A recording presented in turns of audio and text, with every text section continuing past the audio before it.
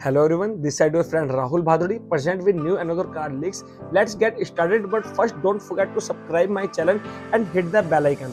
Guys ये आपके सामने एम जी हेक्टर का फेस शिफ्ट और इस वीडियो के अंदर आपको बताने वाला हूँ M G Hector face shift के अंदर आपको कौन कौन से न्यू फीचर्स मिलने वाले हैं और क्या क्या चेंजेस मिलने वाले हैं तो इसकी कुछ फोटोस लीक हुई है जिसके अंदर आप इसकी फुल फ्रंट लुक देख सकते हो इसमें आपको एकदम न्यू फ्रंट ग्रिल मिल जाती है न्यू हेडलैम्प्स मिलते हैं और साथ में आपको न्यू डी मिल जाते हैं जो गाड़ी के फ्रंट लुक है ना, वो कम्प्लीटली चेंज है। पहले वाले एम हेक्टर से।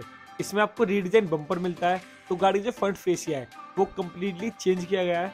हेडलैम्प्स में कोई इतना बड़ा चेंजेस नहीं है, लेकिन थोड़ा बहुत कॉस्मेटिक चेंजेस किए गए हैं। और इस गाड़ी के अंदर आपको एडास मिलता है, जिसमें आपको adaptive cruise control automatic emergency brake and lane keep assistance features मिल जाते हैं।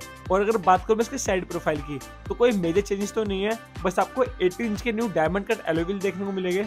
और रियर की अभी तक कोई इमेजेस लीक नहीं हुई है, लेकिन अगर हम बात करें इसके इंटीरियर की तो इंटीरियर कुछ इमेजेस लीक हुई है, जिसमें आपको उसके अंदर फोर्टी इंच का इन्फोटेनमेंट सिस्टम मिलने वाला है, जिसके अंदर आपको wireless Android auto and Apple car features मिल जाएँगे। ये अपने सेगमेंट के अंदर सबसे बड़ा इंफोटेनमेंट सिस्टम होने वाला अभी तक इस सेगमेंट के अंदर। 40 इंच की डिस्प्ले किसी भी कार के अंदर आपको नहीं मिलती। यहाँ तक कि जो इससे अपर सेगमेंट है, उन गाड़ी के अंदर भी आपको 40 इंच की डिस्प्ले नहीं मिलती। और ये जो इसका इंटीरियर है, ये आपको ड्यूल टोन में मिलेगा। देखने में काफ़ी प्रीमियम लग रहा है। एम जी हेक्टर पहले से भी काफ़ी प्रीमियम लगती थी और अभी जो इसका फेस लिफ्ट आ रहा है, इसमें गाड़ी और भी लग्जरी लग रही है। तो इंटीरियर में एमजी ने काफ़ी अच्छा काम किया है। इंटीरियर से काफ़ी नेक्स्ट लेवल का लग रहा है। और अगर बात करूँ इसके इंजन के बारे में तो उसके अंदर आपको सेम इंजन मिलने वाला जो अभी तक आपको एम जी हेक्टर मिलता था।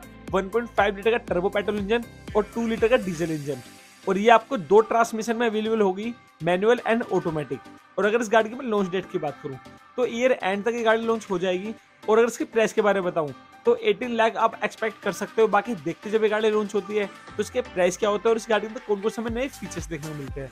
तो गाइस फ़िलहाल इस वीडियो में इतने मिलता हूँ नेक्स्ट वीडियो में। जब तक के लिए बाय बाय टेक केयर और गाइस एक बात और कहना चाहूँगा लास्ट में अगर आप बाइक चलाते हो तो हेलमेट लगाना ना भूलना और अगर आप कार चलाते हो तो आप सीट बेल्ट लगाना ना भूलना। तो मिलते हैं गाइस नेक्स्ट वीडियो में। आई होप ये वीडियो आप सबके लिए हेल्पफुल होगी।